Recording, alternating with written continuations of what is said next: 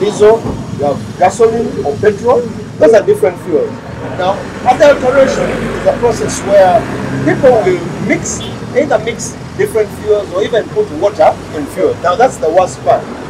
But mixing different fuels, we- we've heard of cases where paraffin, for instance, is mixed in petrol.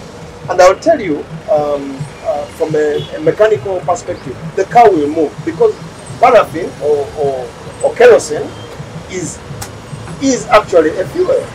The problem is uh, car engines are designed to run with particular kind of fuels.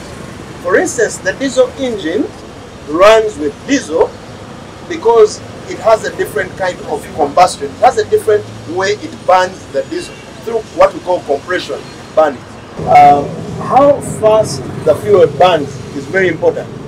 And fuels that burn slower tend to cause severe action in the engine, which we call cylinder knock.